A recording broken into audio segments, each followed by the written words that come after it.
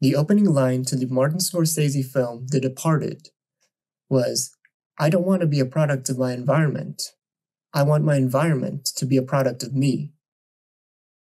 And that completely describes the gangster mentality of the character who said it, Frank Costello. And like gangsters, we've always wanted to prove, over and over again, that we can craft our environment in a way that reflects us. We engage in this to an obsessive level, forgetting about all consequences. Then comes pain, the recognition of how much suffering we inflict on each other, the resulting disillusionments and self hatred. As evidence became clear that American indulgence in materialism wasn't just an environmental problem, it was an ideological one. The cost of giving your life away to the superficial was no longer just a philosophical question. The counterculture from the 60s fundamentally changed American perception of the establishment. It influenced an entire generation in culture, in music, in politics. The certain disgust for excess, superficiality, the mass unconscious, is some universal desire that anyone can tap into at least momentarily. But despite its convincing rhetoric, the promise of quote unquote spiritual transcendence, the promise of supposedly high truths, it kind of just dissipated, fell apart, giving way to problems that seem more important. And now, the environment has changed and consumption continues. To be clear, anti consumerism hasn't gotten any less powerful or convincing. It isn't because of what the establishment did, whatever government conspiracy, whatever corporate propaganda was made to keep the masses unconscious, that killed off anti consumerism in its original form. So, what happened? Because a lot of this movement and its ideology mirrored that of organized religion, giving its followers a way out of what seems like an unbearable normality. But unlike religion, it never caught on in the same way. So, what was missing? What was the hollowness or shallowness that was the reason for its disappointing lifespan? It was so meek that nobody noticed that it almost died off, or continued to exist despite its irrelevance. Anti consumerism is still alive, it never died. Rather, it seems to have split itself up and settled into many corners of the collective thought process, so that you can see fragments of it pop up every now and then, and you can't tie it definitively into any ideology. In this video, we look at the state of anti consumerism today and why it's pathetically weak in the face of technology and evolution.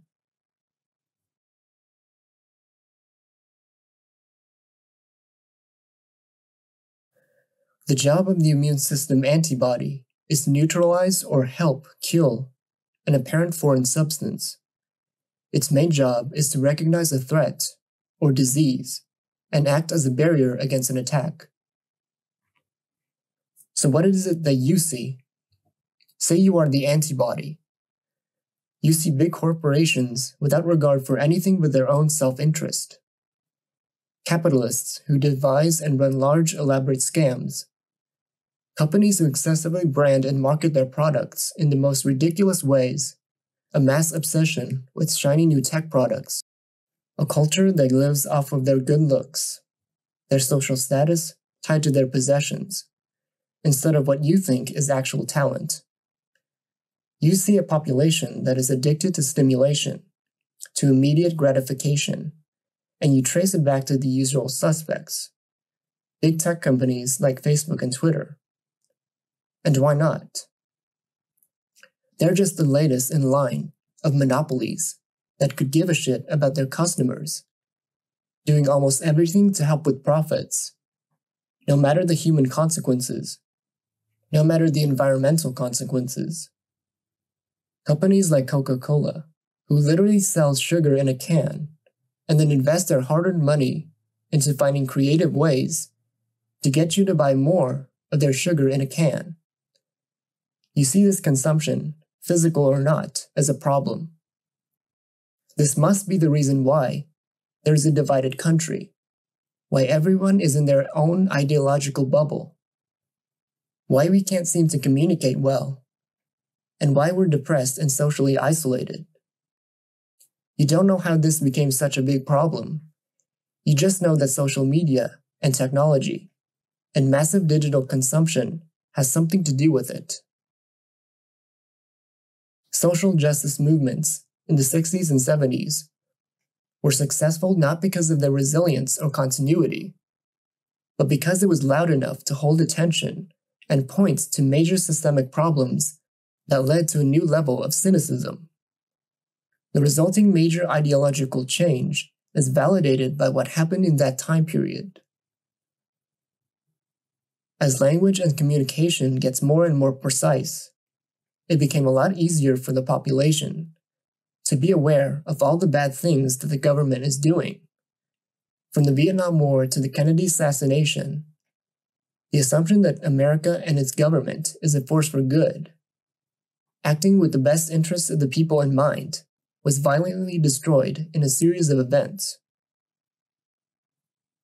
So there was an original belief, or ideal, that something was pure.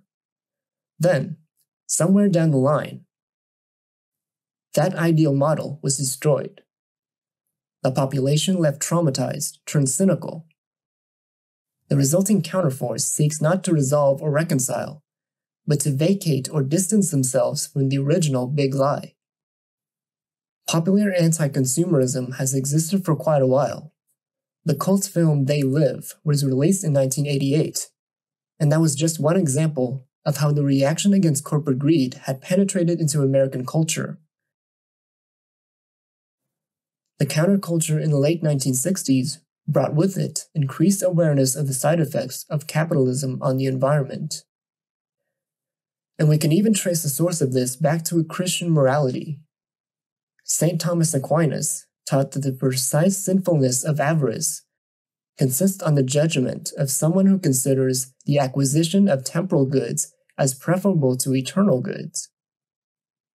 But just to give context, as of today, 80% of the world's resources are used by a minority 17% of the population, which means that a relatively small group is consuming far more than they need to. Private consumption per capita is concentrated among the wealthiest countries, and Americans are by far the world's biggest consumers. This is despite anti consumerism naturally allying itself to the counterculture that took place in the United States over half a century ago. So, is all of this just a drop in the ocean? Is greed just too strong? Are the capitalists just too powerful and convincing? It's not just in rich countries, by the way. Some of these statistics don't really do a good job. In middle income and poorer countries, consumerism is also doing very well. Communist China is a huge market for capitalists from around the world. Consumerism as a whole is here to stay.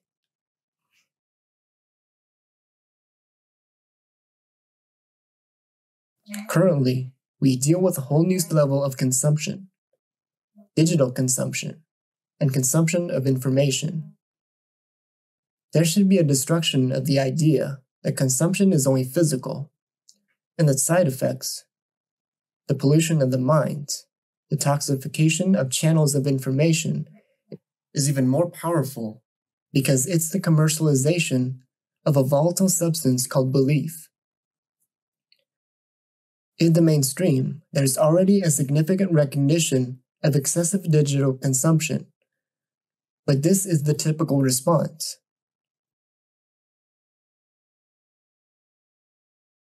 our use of tech, our relationship with our devices, the way that we use social media. A picture of a world where we're all under continual surveillance with the somewhat insidious intention of marketing to us.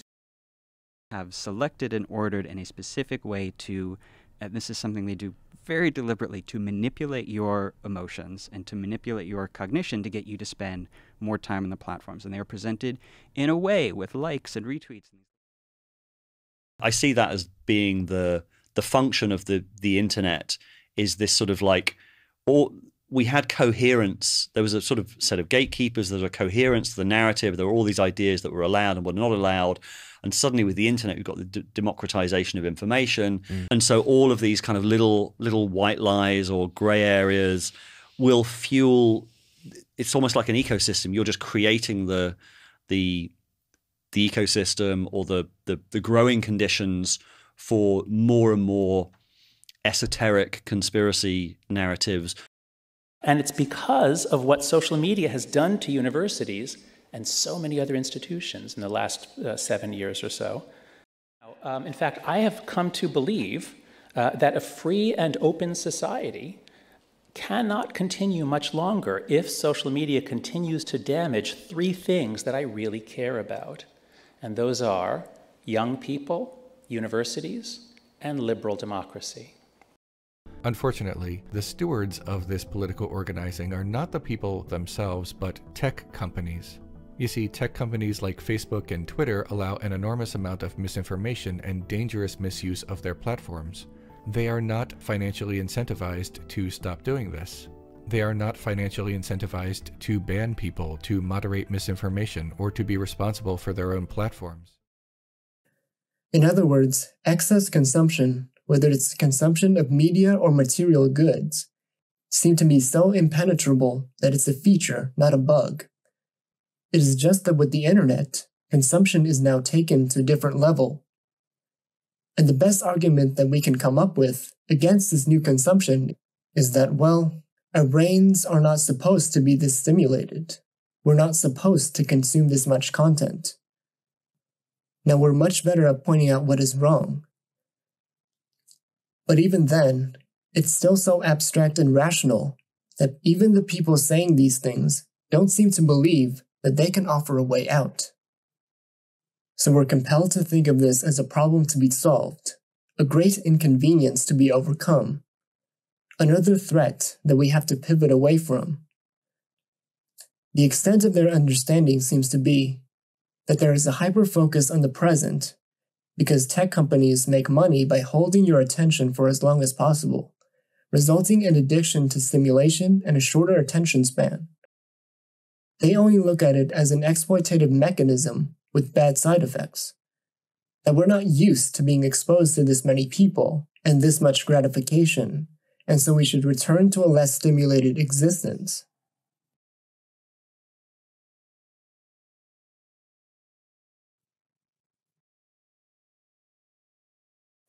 Much like the counterculture, this reaction is one dimensional, underdeveloped, and therefore doomed to fail. A drop in the ocean against a massive wave of change and evolution. When a society changes and evolves, commercialization doesn't phase itself out, it moves along with it. The worst thing about this is, it's not even clear that these people actually understand what they're saying. For them, it's just another talking point that they can throw out there to make it seem like they're telling you something that the quote unquote masses don't know. Because in the end, who doesn't need to sell themselves? Who doesn't need to find ways to get your attention? If you want to know why rationality reasonable consumption, or even equality within a society seems to exist only in small pockets, as a luxury or an exception, and never as a norm. You have to look at hierarchies, not just in power or influence, but in raw numbers. One way to look at it is that even though the counterculture got a massive amount of attention and its ideas quickly adopted into mainstream culture, that doesn't mean that it is actually practiced by the majority of the population. Most normal people are normal, doing normal things, like working a job and building a family. In the same way that the majority are not radically left or right politically, and that most would rather avoid political discussion, as it would ruin their normal human relationships most time in human lives are not spent participating in political activity or acting on an ideology. If there is political activism for a religious agenda, special interest, or anti establishment movements, it has to be done as an exception to the rule. They have to be in a position to break from normal behavior patterns. When you're caught up in some trend or fad, it seems that in that moment, missing out on it means you'll lose everything. Same thing with ideology, the collective unconscious, as well as the reaction to an established order. They must rely on their ability to hold your attention by seeming more real than they actually are. If we look at it this way, it starts to make sense why a minority of the population can hold the most attention, the most power, and the most wealth.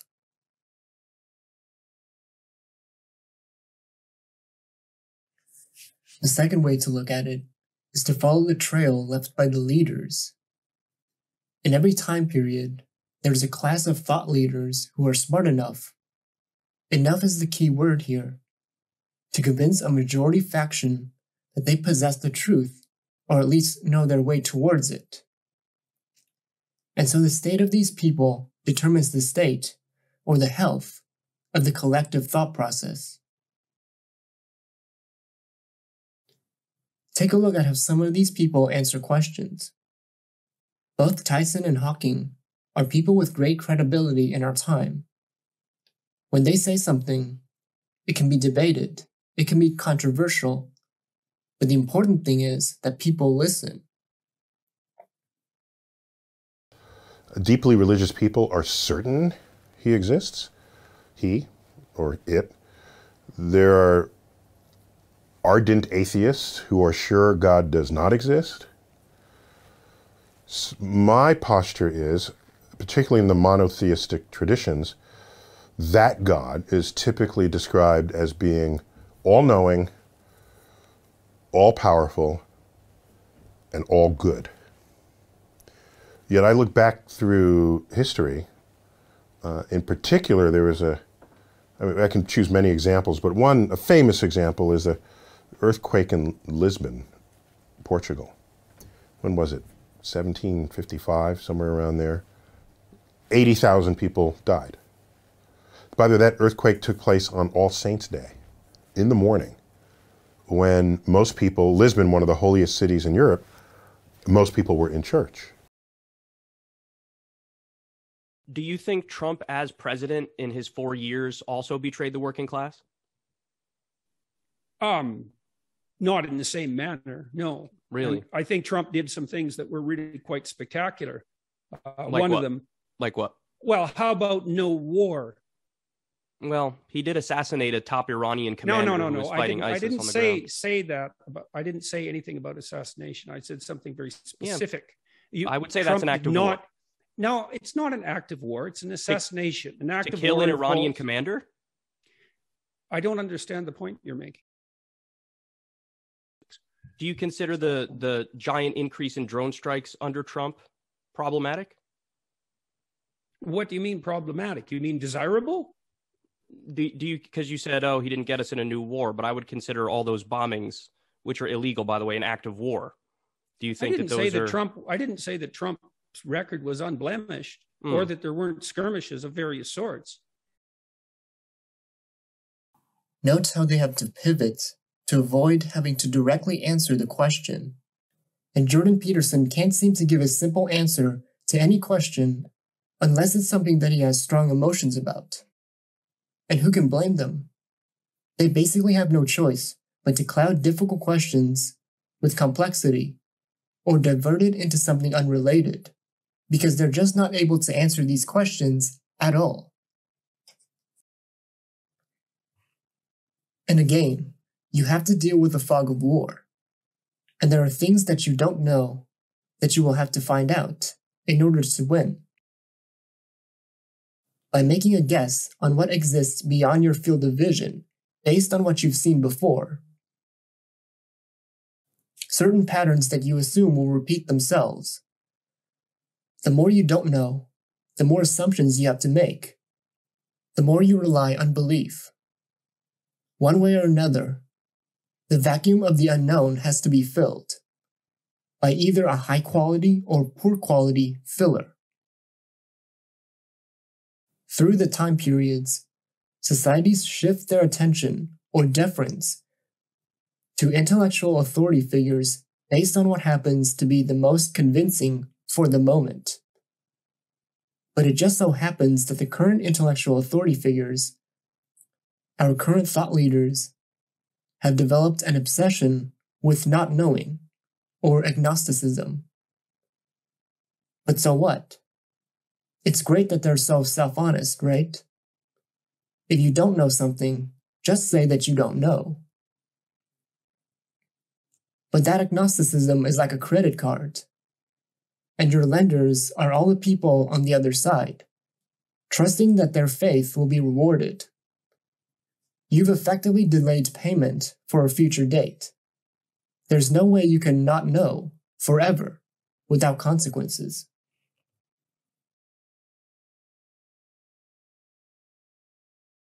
So, on the one hand, they cannot know whenever they want.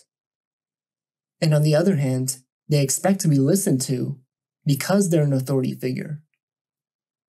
Again, this says nothing about the accuracy of what they say, but you can see how you have voluntarily given up control over thought to them because you understandably assume that they can do a better job at it than you can. Their job is to know, to know on behalf of you. But the problem is that they don't want to. In the environments of excessive intellectual discussion, they have to somehow capture what is true and objective in an absolute sense. But since they're deathly afraid of being wrong or contradictory, they have to come up with statements that are so neutral that they completely avoid being wrong, essentially absolving themselves from taking a position on anything that actually matters, no matter how obvious the right answer is. If you are in a position to be agnostic, that's actually a very good thing. That means the freedom, for the most part, to craft your own narrative. It's the freedom to be rational, free from religious ideology. But in that process, the intellectuals have completely abandoned the subjective, retreating into the objective, where they can safely make predictions that can be easily be cross-referenced.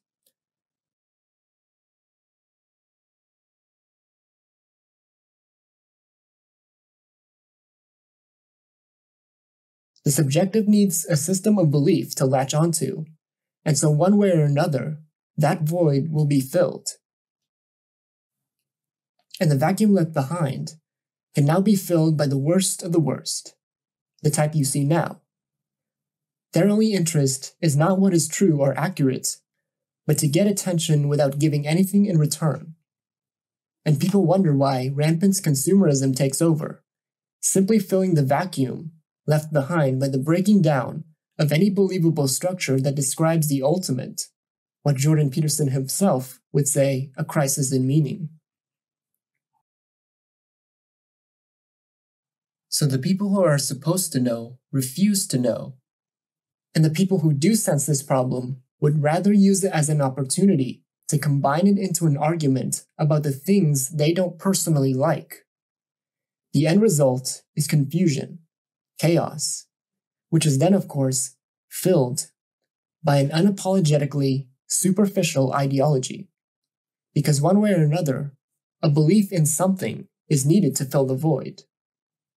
And here is where the consumer and the anti consumer intersect momentary alignments that make them different sides of the same coin. The unconscious, vanity, desire, doesn't exist in isolation, sitting in one place, waiting for you to get rid of it. It can find a home literally anywhere and manifest in any form needed to buy the time and space needed to exist. Selling yourself, convincing people that you are worth something, is a universal problem. Consumerism is only the most unapologetic version of it.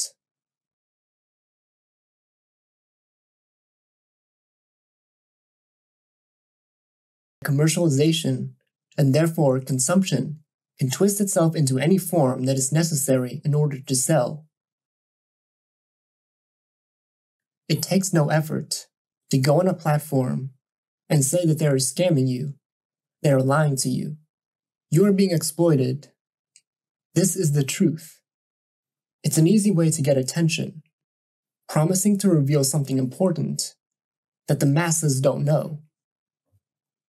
Anyone can play the role of being the exposer of all the evils of society.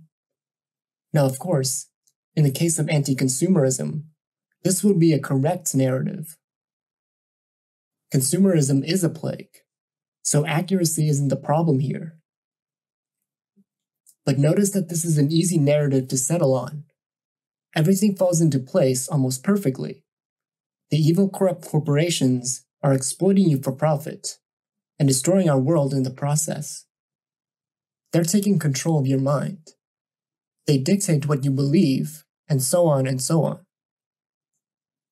For a short while, you slip into the role of someone who is above the unconscious masses. See, this wouldn't be a problem at all if you took anti consumerism just for what it is a reaction. But if you pay attention to ideology, you'll know that this almost never happens. When given the chance to crusade against the forces of evil, it doesn't matter the time period, it doesn't matter if it's in the name of God, or science, or truth, or justice. People want to run away with that little sliver of truth that they possess and take it to the very end. So now you'll have to come up with the ideal solution for how to regulate this excessive consumption, how to create the ideal society post consumerism. You know that you can't just react to something, you have to convince people that there is a correct alternative. Meanwhile, the world has a way of taking on, steamrolling every intellectual argument, every activist movement, and every scientific study. Mass consumption, at least on a global level, is here to stay. And that's the fate of the shallow anti consumerist. Constant disappointment. As rationality permeates closer and closer within the collective unconscious. The superposition is made to better replicate the sum of all human needs, and of course, all human perceptions, which means that it also incorporates all the evil and corruption learned from all the previous mutations of societies. Let's assume for a moment that marketing is bad because you're trying to prop up your product as opposed to others. So you don't do it. You have an idea for a product that isn't perfect, but your competitor's product is downright poisonous. It's clear that your product idea is better, but you need to market your alternative. Your problem is this you don't like the old product, it makes you sick. But you yourself need to sell the alternative. It turns out you also need to package a product to sell. You need to promise them that the solution isn't this, but that. Otherwise, who's going to bother listening to you? You start to see the existential problem here. Do you see how this problem translates itself perfectly into the next set of constraints? Is it starting to make sense why the same problems keep reappearing no matter how radically you try to change the environment. The thing is, they're completely right. Excessive consumption is the biggest problem of this time period. In an environment that is too safe, too tolerant, and too prosperous for its own good, the collective will eventually find ways to avoid hitting a brick wall. They have to find new constraints to break new ways to shape and manipulate the environment for themselves, new games to distract from an otherwise meaningless existence. It turns out that this game has externalities. The outward prosperity, abundance, and convenience is only possible if another group foots the bill. You bought into this fairy tale, a promise that you know is too good to be true, but when the story predictably takes a turn for the worse, you still react badly. Your relationship with technology is like a rich person's relationship with privilege. Imagine you're a rich kid with everything handed to you, allowing you to pursue pleasure and personal success. And then, of course, you reach the limit. It comes to an end, and the rug is pulled from underneath. You become depressed. It turns out that being so enabled has bad side effects. But you already bought into this idea of pursuing highs, and you've made your whole identity around that. It tricked you into believing it was something greater than it actually was. And now you're angry at it. So you go and you tell everyone you know, all your friends, and the entire world, that this thing is bad, and your whole life was a lie. That's a basic version of our relationship with consumption. And so, what you get out of this, instead of less self centeredness, is more self importance stacked on top of self importance. It really is a special type of arrogance, available only to the select few. But this is all we seem to have in the fight against rampant consumerism. We tend to think of intellect and intellectual arguments as deep. But you don't really pay attention to how it is incredibly shallow. To deconstruct an object and analyze it is necessary.